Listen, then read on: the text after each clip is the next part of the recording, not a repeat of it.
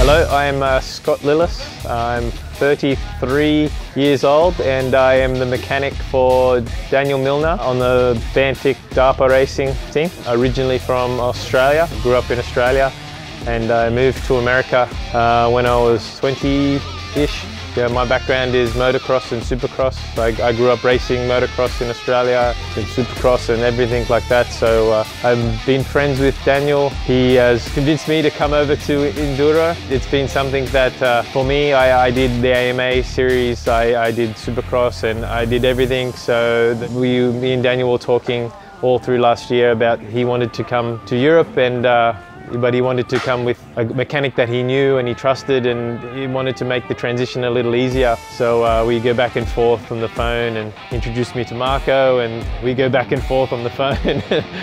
Marco would just uh, talk through Google Translate, so I thought his English was a lot better than it was. Together we are, we are getting better and better.